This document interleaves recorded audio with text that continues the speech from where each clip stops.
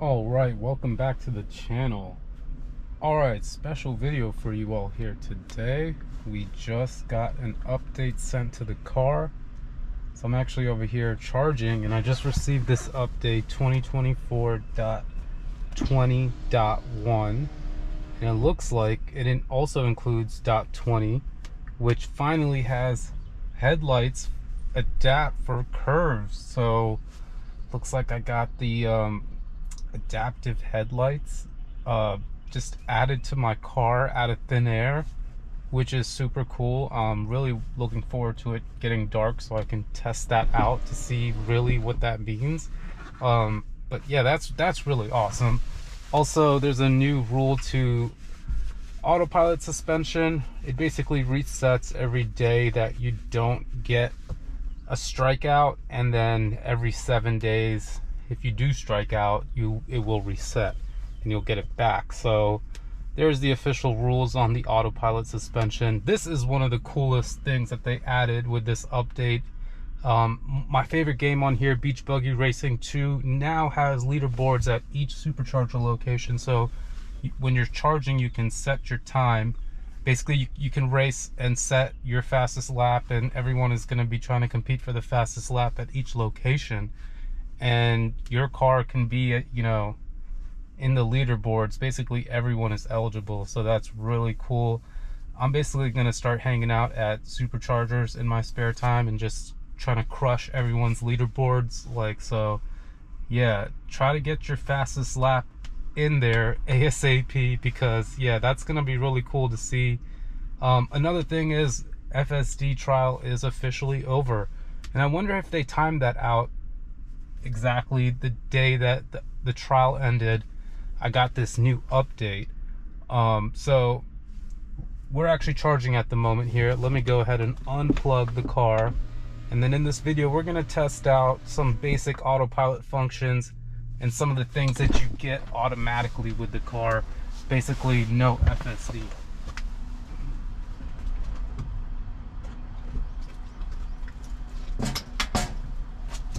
all right so just like that we are no longer charging. I'm at 74 percent which is great. Love to get the free juice from here. All right first thing we're going to notice is we still go in full screen um, without fsd and notice with tesla vision i'm able to see the high fidelity park assist all around me. So that doesn't go away. So let's see now um you know, you normally get the single line indicating that FSD is active. So that, of course, went away. Um, and then as soon as you start going, I think like over seven miles per hour, then uh, it turns back into the computer visualization instead of FSD. I'll check this out here. Ghost tints on the Model Y. Shout out to them looks like they got some uh, I gotta gotta hit them up because I am looking to get the Model Y tinted right here in the front two windows. Did not come tinted for some reason. The back two are so I just need to even that out here. So notice turns like that FSD would always do for you. See I'm getting the icon to pop up. It just went away now. You know if you want the car to turn for you FSD is what you want. Um look at autopilot more as like a really advanced adaptive cruise control. Um, it works, but notice that it will not stop at stop signs. Notice how it was ready to just go through the stop sign.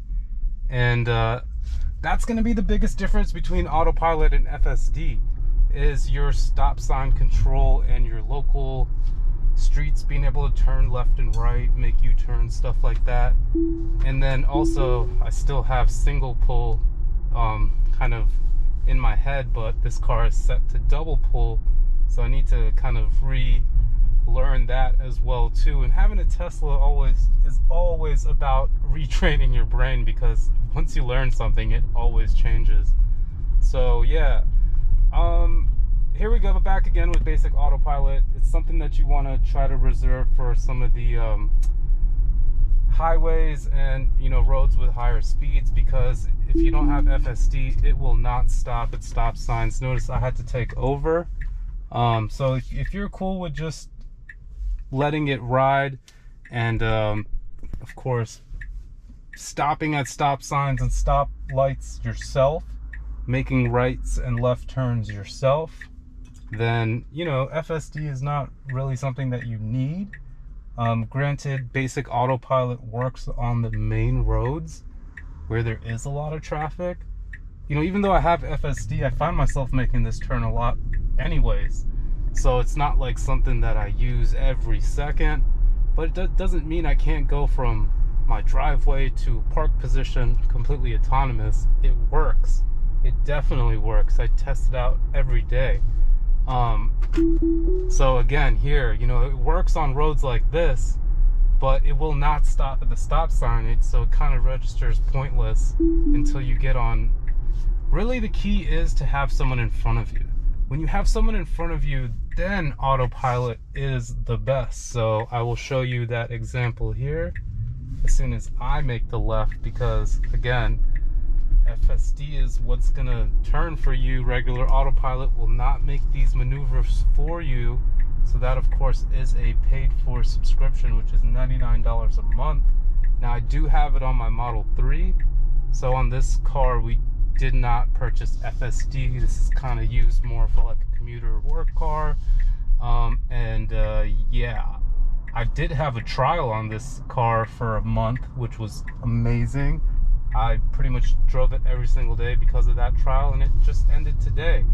And uh, since then, I got an update for Matrix adaptive headlights, which I'm really interested in seeing how that works. So here we go, officially on a quote unquote highway, and I've got a car in front of me.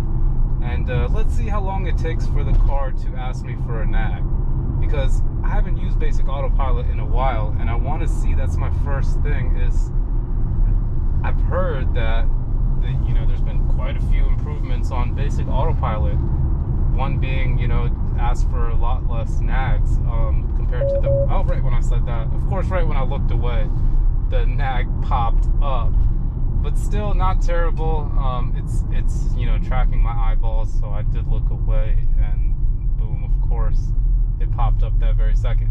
But you know, we always talk about how great FSD is, um, and I think basic autopilot doesn't get talked about as much because there are probably more people that have basic autopilot than they do FSD.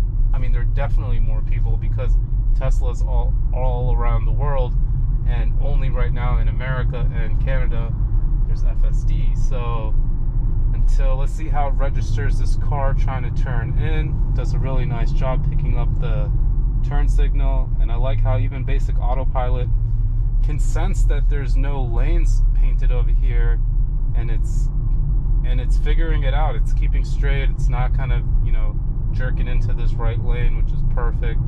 Um, and I love how you know it does take from each update, you know, things that it learned with FSD, and it does apply to basic autopilot. This this does get overlooked a lot because everyone's always talking about FSD, FSD.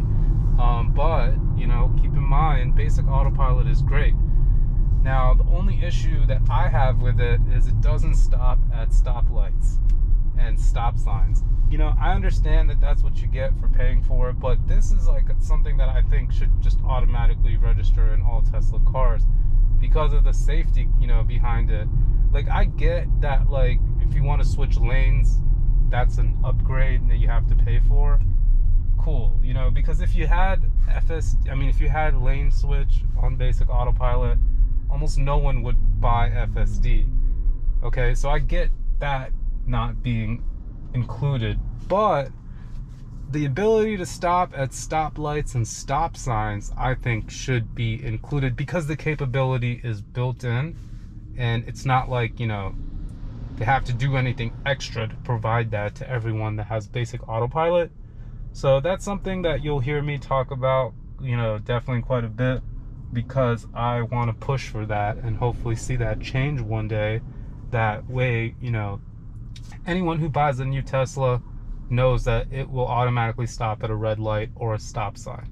Because right now it does not, unless you have FSD.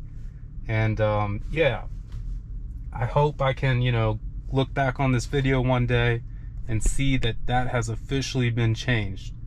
Um, but until then, we are working with basic autopilot. And yeah, so let me know your thoughts in the comments below. Um, definitely hit that like button if you enjoyed this video. You see how really smooth autopilot works when there's a car in front of you? It is, um, you know, I really have to remind myself every second that FSD is not in control here. And uh, yeah, let me know your thoughts below. Hit that like button if you enjoyed this video and make sure you subscribe for more. Thanks again for watching. Hope you have a great rest of your day.